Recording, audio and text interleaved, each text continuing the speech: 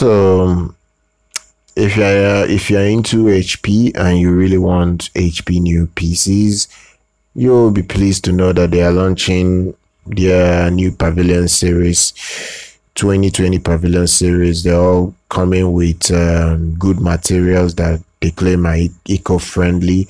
They're also coming with the in latest Intel uh, 11 generation processor in it, so they are quite uh, powerful.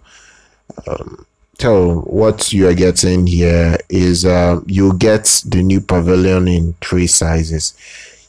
You can get it in 13 inch, 14 inch, and 15 inch. They are all pretty much they claim they've designed it to be very eco-friendly to know, every company now is claiming they design things to be eco-friendly i really don't talk too much about these eco stuff because most of those things are marketing tools that companies use to get you to buy their stuff and all that but we can talk about the specs it's coming with the intel 11 gen processor and along with an integrated uh, Intel Iris Xe graphics. It is quite powerful for what you get. It is not expensive. I'll get down to the price. So I think every person can can spend money on the performance that they are putting on this PC and get good uh, good usage out of it.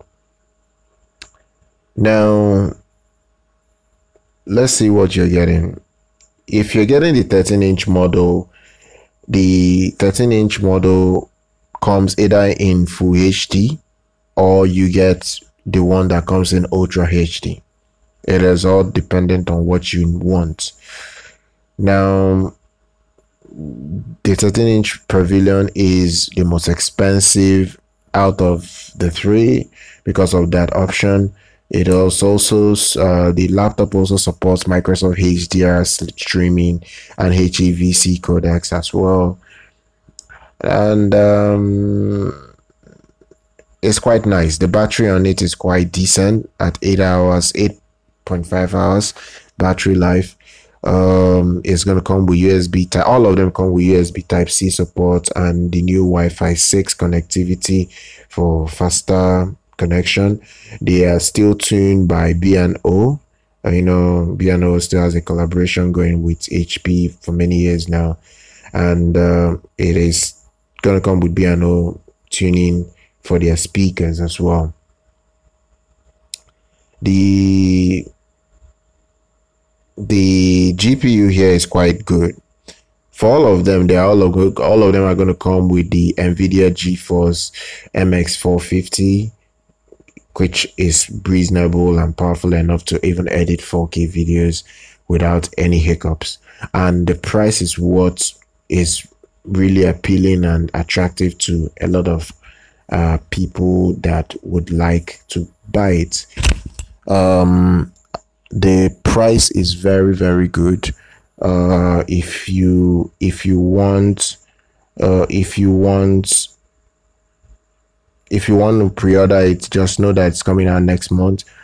The 13 inch is going to be priced at $679, while the 14 inch will be priced at $599. And um, sorry, the 15 inch will price at $599. The 14 inch will price at $579. And there you have it. Will be available on HP's website, Amazon, and all the retail stores from next month.